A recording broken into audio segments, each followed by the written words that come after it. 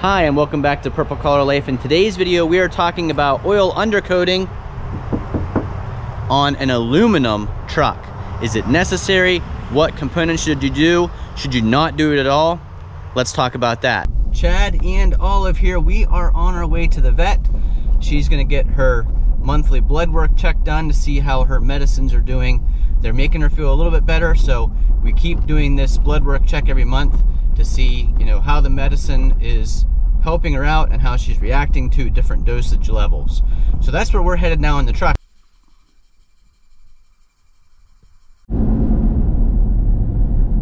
The leaves are just starting to change here because it is fall and that makes people think about winter. And one of the things I think about in the fall is getting my truck ready for winter. And one of the things we do with all of our vehicles is oil undercoating. Now that changed a little bit last year when we got this new F350 new to us. Now, like I said, I did a lot of research and I am by no means an expert on oil undercoating. I've never undercoated my own vehicle. I've always taken it to professionals. I did a video a while back about why I personally don't like fluid film as an undercoating. I'll put a link to that video up above. But it was really a debate in my mind because oil undercoating does protect the steel of your vehicle, but it's also really messy. So the Ford Ranger has been oil undercoated every year that I've had it, and it was oil undercoated even before I had it. You can see I just got a bath, but you can see here in the corner what happens is the oil kind of seeps through where these pieces overlap. This is actually one of the places that the oil is sprayed into the truck. Um, how the mechanic does it is he punches these holes or drills these holes out. Like there's one here, there's one here puts a wand in there and sprays that material into the body. And then that, as you can see, all these Pennsylvania winters later, has still kept that rocker panel from rusting. Same thing with the door. You can see there's some oil underneath the door there. You can see where it kind of drips out there. But there is no rust. There's another one of those knockouts where the wand goes in to spray the oil. So you can see a nice coating of oil on the frame. Even on this support rod. It's getting dark in there, but you can see, you know, oil all over the parts of the body here, on the inside of the panels. And that keeps that salt and brine from making contact with the steel portions of our truck and starting that rust process. So our 2020 F350, which we've done lots of other videos about, and I will put a uh, playlist down in the description of this video so you can see all those videos we've talked about this truck in the past. But one thing we haven't talked about is oil undercoating an aluminum truck. And that was research that I did last year to see is it necessary to oil undercoat an aluminum truck? Is it a bad idea? And here's kind of my thoughts after doing that research. Obviously, you should do your own research so that you're aware of what's happening with your vehicle. But I'll tell you what I did last fall to get this truck ready for winter. So like I said, an aluminum truck should never rust. But we all know that aluminum does corrode. So my question to the guy that does the oil undercoating is, on these trucks, have you been shooting the oil down into the door frames and the rocker panels and the tailgate? And he said yes absolutely. Even on these aluminum trucks it's a good idea. It just keeps the moisture out keeps the salt from corroding those body parts. But last year when I had this done we'll look underneath here so you can see there's a coating of that oil on there's on the spring and on the shock, on the frame, and that's helping protect that frame.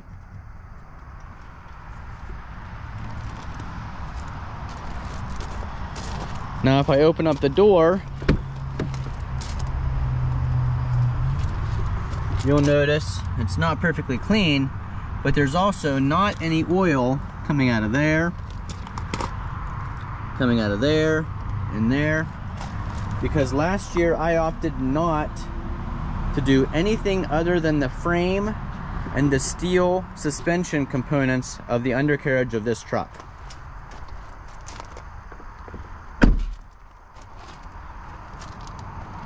So everything underneath here that is steel did get oil undercoated but the body panels, the doors, the tailgate did not. So on my old truck, after all those years, there was always oil down here on the bottom. You'd wash it off with your wash mitt when you're washing the car. It would make a mess. It would constantly drip onto the bumper.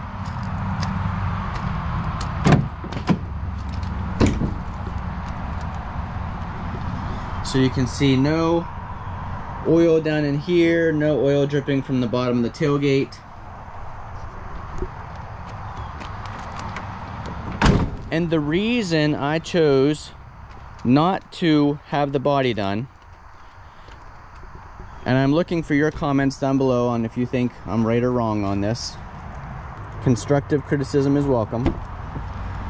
My thought was the places that I see aluminum start to corrode are the places that have a stone chip or something happen to that paint sealed coating over top of the aluminum. And what I didn't want to happen was to have the garage drill holes in the door or the tailgate and have that be a point where this paint is no longer sealed over that aluminum. It creates an opportunity for moisture to get in there and it actually starts corroding from that point out. Now maybe the oil spray would keep that from happening and that's where I'm looking for your comments.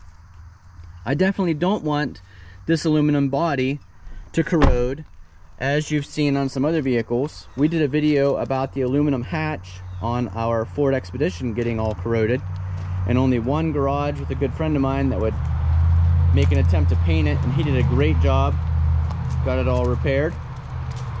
So this is kind of what I'm looking for. Last year I just had them spray the frame and anything steel underneath the chassis of the truck. This year I haven't made my appointment yet but I'm wondering what you guys think about spraying the aluminum body panels. Is it necessary? Is it just a waste? Is it a good idea? Does it help protect them?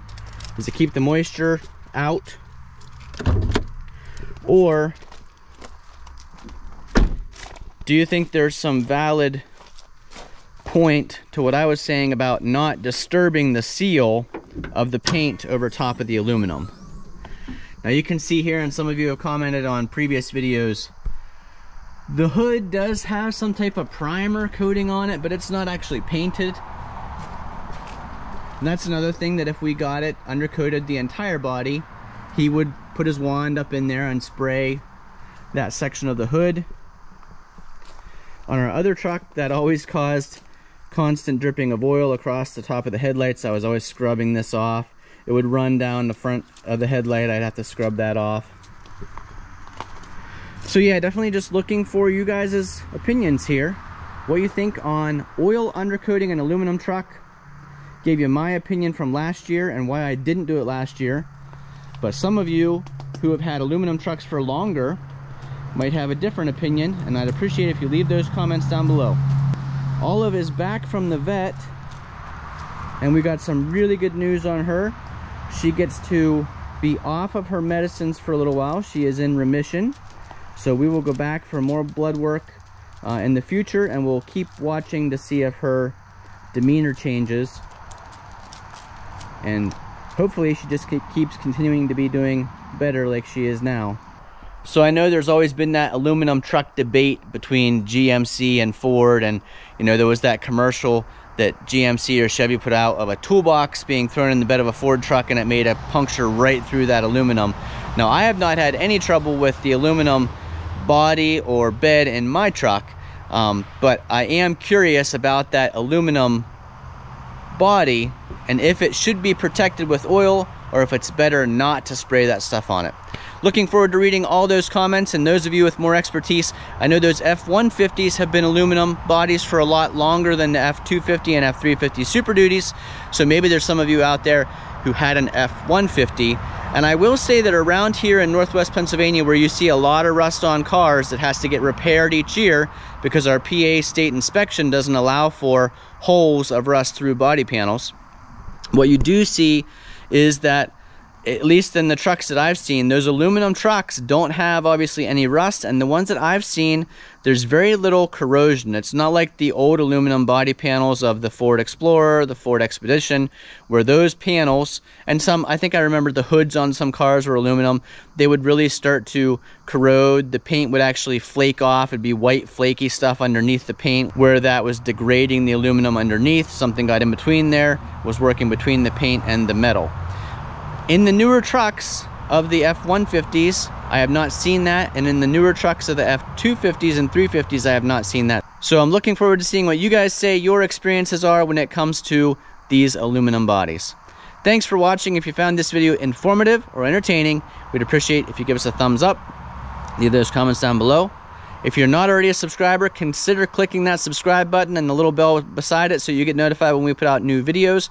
On Purple Collar Life, our channel is all about the mix of our white collar day jobs and our blue collar rural living. So lots of information. So lots of activities around being outside, obviously the truck, chainsaws, tractors, firewood, just rural life here in Northwest Pennsylvania. Thanks for watching. We'll see you again the next time.